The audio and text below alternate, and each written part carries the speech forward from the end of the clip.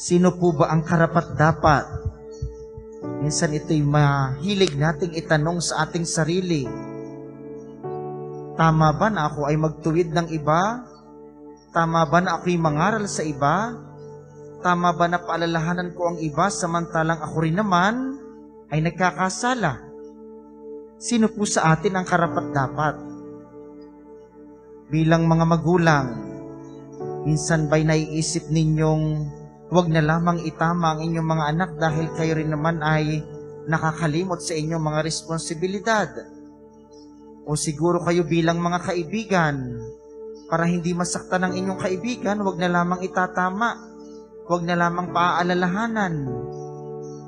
O pwede nating sabihin ang mga ating ang ating mga tagapaglingkod sa pamahalaan, ang mga nasa gobyerno. Tayo ba'y maniniwala pa sa kanila kung sabihin nilang tayo'y kanilang paglilingkuran samantalang alam naman nating sila'y nagnanakaw ng kaba ng bayan? O sabihin nating ang mga nasa simbahan, kaming mga pari, kayo ba ay maniniwala pa sa amin sa dami na ng mga iskandalo at mga kaso na kinakaharap ng simbahan dahil sa kagagawa ng mga pari. At marami pang iba. Maaari tayong magbaybay ng lahat ng mga nasa katungkulan o nasa may responsibilidad na minsan ating pinag-iisipan na para bagang hindi naman kapanipaniwala. Bumabagsak po kasi tayong lahat. Nagkakasala tayo at ang sabi ni Jesus, ang mga eskriba at ang mga pariseyo, ito po yung mga nag-aral tungkol sa batas. Sila yung mga nagpakadalubhasa tungkol sa batas. Sabi niya, paniwalaan ninyo ang kanilang sinasabi, ngunit huwag ninyong sundin ang kanilang mga ginagawa. Yung tipo bagang ikaw isang doktor, halimbawa ay ginagamot ka. Sabi si A, huwag po kayong manigarilyo at masama po sa inyo. Dapat natin gawin yon. Pero kung nakikita natin yung doktor mismo ay naninigarilyo, ay huwag natin gagayahin.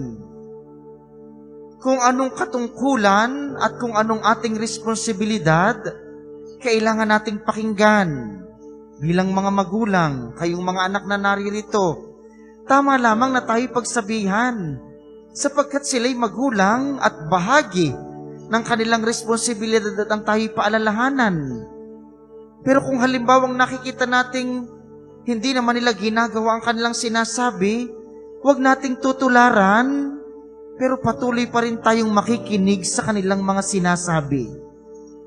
At marami pang iba, maaari tayong magbaybay. Ang ipinapaalala ni Jesus, sino ba sa atin ang karapat dapat? kapag tiningnan natin ang ating ugnayan sa Diyos, wala sa atin ang karapat-dapat. Walang sino man sa atin dito ang karapat-dapat humarap sa Kanya. Sa kabila ng ating kahinaan, sa kabila ng ating kasalanan, sa kabila ng paulit-ulit nating paglimot sa Kanya, walang karapat-dapat. Pero, yung mga nagnanais makasunod sa Kanya, ginagawa niyang karapat-dapat. Ang sabi nga kapag ka sa seminaryo po, sino ba ang karapat-dapat na maging pari o tawagin sa pagpapari? Wala naman. Pero ang Diyos, yung mga tinawag niya, ginagawa niyang karapat-dapat.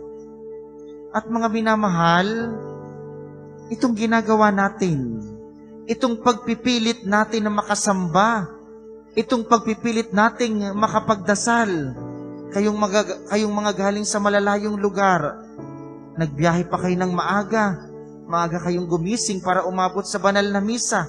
Tayo, tayo yung sinasabi ng Diyos na gagawin niyang karapat dapat.